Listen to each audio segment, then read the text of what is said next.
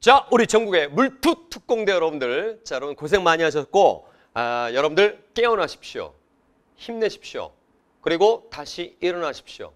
여러분들 그 제가 6편 끝나고도 여러분들에게 당부 그리고 속마음은 애원이었습니다. 자, 그런데 제가 지금 이 7월학평 총평과 해설 강의를 앞두기 전에 먼저 말씀드리고 싶은 것은 제 실제적인 속마음을 말씀드릴게요.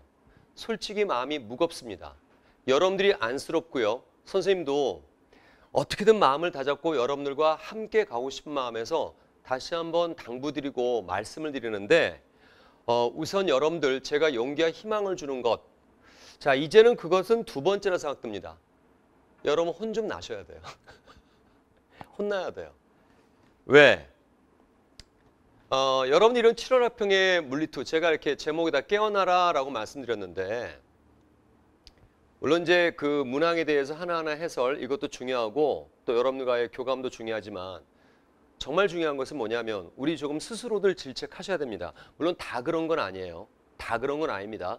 선생님이 얘기할 수 있는 것은 전체로 얘기할 수밖에 없는 건데 일단 여러분들 역대급으로 쉬웠어요. 그리고 피님이 왜 고개 숙이고 이렇게 어, 저 힘들어 하십시오. 피님은 아닙니다. 여기 보세요. 왜 괜히 주눅 들어가지고. 역대급으로 하이퀄. 이런 쉬운 난이도 상황에서도 역대급으로 정말 품질 좋았습니다. 여러분들에게 정말 도움이 되는 그런 내용과 문항들입니다. 자, 그런데 버트 역대급으로 음, 말씀 안 드려도 알겠죠? 처참한 정답률이 나타났고요. 자, 여러분들 과연 이 선생님이 왜 마음이 무겁냐면 여러분들을 뭐 질책하는 그런 건 아니야. 그 안쓰러운 생각이 드는 겁니다. 안쓰러운 생각이 들어요. 왜 이렇게 그 two 과목, 특히 이제 물리 two 이런 현실이 이렇게 됐는가?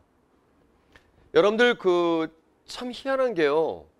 시간이 없다라는 그 말씀을 물리 two 하시는 분들한테 많이 들어요. 도대체 아니 왜 물리 two를 하는데 시간이 없을까? 상대적으로 다른 one 과목들, two 과목들 과탐 영역의 선택 과목인데 왜 시간이 없다고 할까? 이거 한번 생각해 볼까요? 여러분들 수학 원점수 몇 점이에요? 100점이죠. 원점수. 그리고 과학 영역 물리투 한 과목의 원점수 몇 점이죠? 50점이죠. 2분의 1을 버릴 겁니까? 아니잖아요. 시간 없다고? 아니야. 안 해서 그런 겁니다. 그리고요. 물리투 한 사람끼리는 예의가 좀 될 것 같은데 제대로 안 한 사람 빼고요.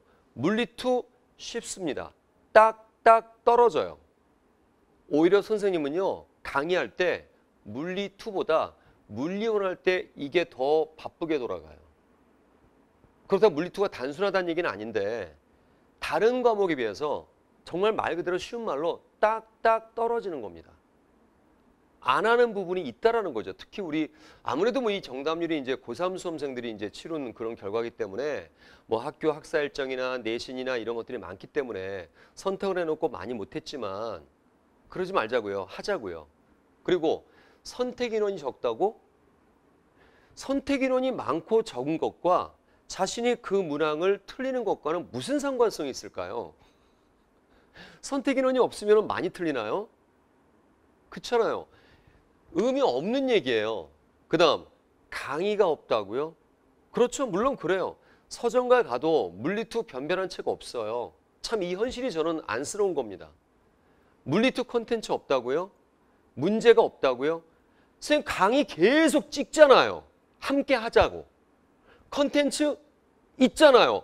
최근에도 kill point 시리즈를 진행을 했지 않습니까? 물론 앞으로 계속 진행할 겁니다. 문제가 없다고요? 여러분들요. 이 물two 문제만큼은요. 기출 문제가 확실한 숨결을 이루게 됩니다. 그래서 여러분들에게 제가 version up 기출 그런 N제 그런 강의 컨텐츠도 곧 개강을 할 거예요. 있잖아요. 하려고 달려들면 많습니다. 왜 다른 것과 비교를 하느냐는 거죠. 자신이 하면 되는데 안 하는 문제점이 있다는 거야. 자, 여러분들 20문항 중에서 16개, 17개 문항 이것은요. 개념과 문제 이퀄이에요. 같습니다. 이퀄이야. 똑같아요. 개념 이퀄 문제입니다. 개념 이퀄 문제야. 안 해서 그런다니까요. 바로 이러한 정답률 한번 전체적으로 보자고요. 여러분들이 아마 이 중에 뭐 이렇게 다 걸린 사람도 있을 것이고 일부 걸린 사람 있겠지만 이러한 정답률이 나온다? 근데 이 문항들의 공통점 좀 낮은 거에서 고른 겁니다. 이 문항들의 공통점은요. 말 그대로 개념 equal 문제예요. 여러분들 선생님 강좌 중에 First of all 물리two라고 있지 않습니까? 그 안에 개념 강좌와 그 안에 그 개념에 적용되는 문제들만 확실히 하셔도 다 맞출 수 있어요. 19번 똑같은 문항이 있어요. 그러면 19번이 제가 만든 문제가 똑같은 거 있다는 아니 기출 문항이었던 것이 있습니다. 물투는요. 사실 그게 그거예요. 이게 제가 너무 얕게 얘기하는 것처럼 들릴지 모르겠는데 이 물투 문항은 딱 정해져 있다니까요. 그리고 수능장을 가더라도 여러분 생각하는 거 정량 계산 문제, 계산 문항은 선어 문항밖에 없어요. 그리고 여러분 제가 그 작년의 수능 그러니까 어, 18 수능 말씀드리는 겁니다. 그 수능 해설을 하고 나서 여러분들 하기 전에도 그랬지만 또 최근에도 그런 얘기 하지만 여러분 18 수능의 물리투가 역대급으로 어려웠어요. 20문항 20번 같은 경우는 풀이를 하는데 산수풀이 하는데 이거 진짜 싫어할까? 이런 생각을 할 정도로 엄청난 과정의 계산이 있습니다. 그래서 제가 그런 말씀 드렸죠. 절대 이보다 더 할 수는 없다. 제가 이런 말씀 드리면 안 되겠지만 난이도를 예산하는 것처럼 사실은 저는 우스운 건 없다고 생각을 하는 편인데도 이런 말씀을 드릴게요. 여러분들 올해 물리투 분명히 18 수능 작년보다는 난이도 낮습니다. 조금이라도 쉽습니다. 이 기회 놓치실 거예요. 피크를 찍었대니까요. 하는 겁니다. 선생님이 같이 달려가자고 애원했지 않습니까? 여러분들 깨어나세요. 하시면 되는 겁니다. 슬픈 정답률을 말씀드리면 그럼직해요. 18번, 20번이 좀 낮은 정답률이 나올 수는 있는데 그래도 20%대 나왔다는 것이 슬픈 거죠. 정말이에요. 진심으로 슬프다는 용어를 쓴 겁니다. 그러면 뒤에 이게 산수 계산 문항이에요. 아, 그럼 이건 이제 어려워서 이렇게 틀리고 앞에 건 다 맞았느냐? 앞에가 저런 정답률을 보인다니까요. 어떠신 분들은 그런 분들 계세요. 3페이지까지 빨리 풀고 4페이지 풀 시간이 넉넉하게 확보됐으면 좋았겠다. 그런 말씀 하시는데 아니요. 여러분들 3페이지까지 뭐 15분에 풀고 10분에 풀고 4페이지에다가 한 뭐 15분, 20분을 투자해? 그거 말도 안 되는 얘기야. 아니 그럼 한 문항에 1부터 3페이지까지는 한 문항당 1분 혹은 1분 안에 30초에 풀고 30초에 풀고 이런다는 소리잖아. 거기 그럼 문장이 없는 건가? 그거 아니잖아. 바로 제가 이거부터 우선 그 설명을 해설 강의를 드릴게요. 사실 이제 뭐 좀 주요 문제, 베스트 문제 해가지고 먼저 설명드리고 이렇게 하는데 고민이 많았어요. 어떤 거를 여러분들에게 먼저 주요 문항으로 설명드려야 될까 하는데 너무 많아. 개념의 그 문제. 그래서 이 18번하고 20번 이거를 제가 먼저 설명을 지금 해설 강의를 먼저 해드리는데 해설 특강 해드리는데 이거 어 제가 조만간에 물투를 위한 캐스트 또 따로 한 번 더 올리겠습니다. 함께 하자니까요. 왜 선생님만 강의하고 그래? 함께 하자니까. 왜 나만 책만 들어? 함께 하자니까. 개념 equal 문제, 인, first of all 무엇보다도 이 전체 물리two 교과 내용 중에서 이러한 어떤 산수 정량 계산이 좀 길게 나올 수 있는 것들 중력장에서 포물선 운동 사실 포물선 운동 최근에 수능에서 이렇게 복잡하게 나온 것도 아니고 또 이번 그 18번 문제 이렇게 복잡한 문제 아니에요. 마침 이런 거 전부 다 여러분들 킬포인트 시리즈 1, 2에서 지금 진행이 됐죠? 거기서 다 나왔던 얘기들이에요. 한번 그림 맞춰봐요. 들으신 분들. 근데 이게 좀 정량산수가 좀 있긴 있습니다. 그런데 이러한 문항들의 교과를 일단 제외하고 먼저 제가 제시를 해드릴게요. 이렇게 하자고요. 개념 이퀄 문제인 것들 이거를 제외하고 이런 것들 요거 제외하고 개념 equal 문제인 것들을 first of all 무엇보다도 이거부터 잡읍시다. 그러니까 예를 들어서 이겁니다. 대단원 이단원에서 전기장과 전위와 그 다음에 역학에너지 관계 또 자기장 관계.